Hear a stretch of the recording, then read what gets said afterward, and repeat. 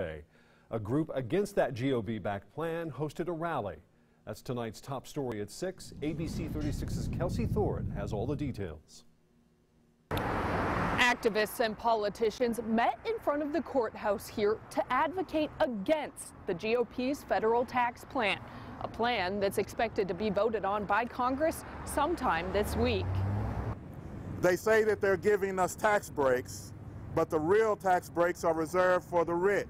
The rally, hosted by a group of progressive organizations, focused on discrediting the Republicans' plan.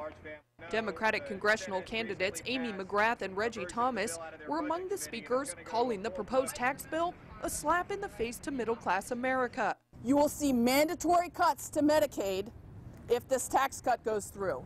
They say the plan will mainly cut taxes for the rich and make life harder for a majority of Kentuckians and are calling on lawmakers to vote in the best interest of their constituents.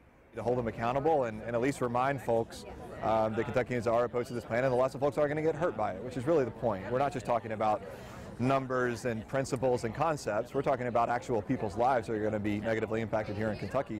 Republicans, on the other hand, say this tax reform bill is a step in the right direction. First of all, simplify the tax code. Second of all, uh, ease some of the burden on middle class families. And third of all, create an environment that's more uh, conductive to, to job creation, into, into getting more people into better paying jobs. The campaign against this bill will continue here in Kentucky on Friday when Senator Bernie Sanders is scheduled to host a rally in Louisville.